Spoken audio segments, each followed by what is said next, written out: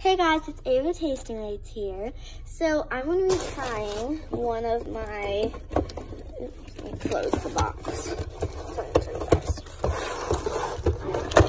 Crumbl cookies. I just all the cookies. There's only one that I'm going to be trying. And I honestly should have done it earlier before I, um, I just got home from school. But earlier in the week before I ate like almost all of it. But, so I'm going to be trying the mint chocolate chip Crumbl cookie.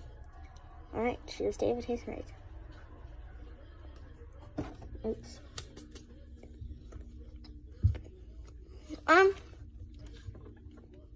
I've already had it. I give it um nine out of ten because the mint chocolate chip frosting's kind of weird, but it's okay. And so that's a 9 out of 10.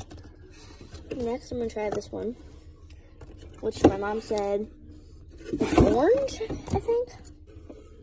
Orange flavored? I'm not sure. I don't know. Yeah, it is orange. Okay, cheers.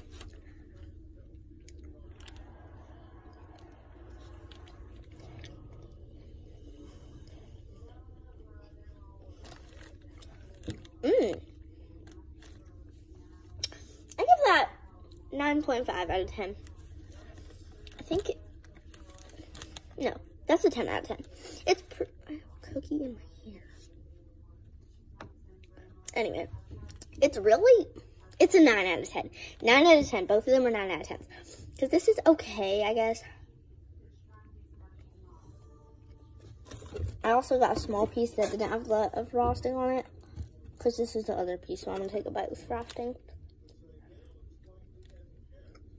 Mm. So, without frosting, it's probably a 9 out of 10. But with frosting, I definitely give that a 10 out of 10. So, those were the Crumbl cookies. Um, they were both 9 out of 10s, except the orange one with the frosting is 10 out of 10. Don't forget to like and subscribe to Ava Taster Rates.